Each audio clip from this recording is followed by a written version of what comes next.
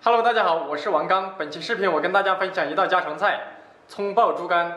首先，我们准备新鲜的猪肝三百克，用清水清洗干净备用。然后，我们将猪肝切成两毫米厚的薄片，猪肝尽量可以切薄一些，这样爆炒的猪肝口感最好。然后将切好的猪肝放入碗中准备腌制，碗中加入食用盐零点五克，加入少许胡椒粉，加入蚝油两克，加入料酒三克。加入鸡蛋黄一个，加入老抽一克，然后朝一个方向搅拌均匀。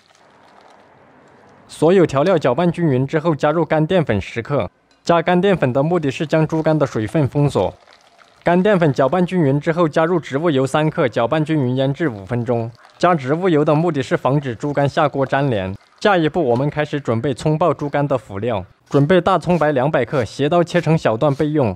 葱的种类不受限制，可以用小葱或者洋葱。准备紫姜三十克，切成姜丝一起放入盘中备用。没有紫姜的朋友可以用生姜代替。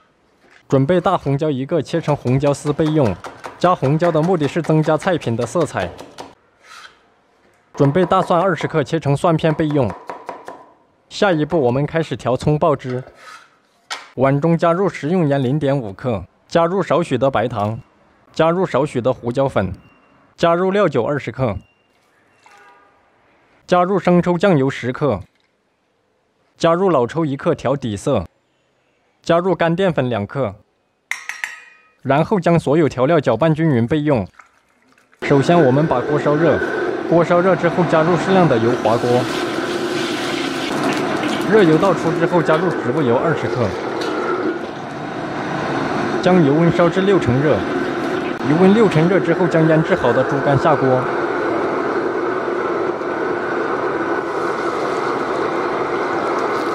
再加入切好的蒜片，然后利用余温把猪肝滑至六成熟。猪肝六成熟之后，加入料酒五克，从锅边淋入，再开中小火翻炒几下。翻炒几下之后，再将切好的葱段、紫姜和红椒丝下锅。辅料下锅之后，再开中火翻炒十秒钟。这一步的目的是把辅料翻炒至断生，辅料翻炒至断生之后，再加入事先调好的葱爆料汁。料汁下锅后，开大火翻炒几下，把料汁炒散收紧之后，即可出锅装盘。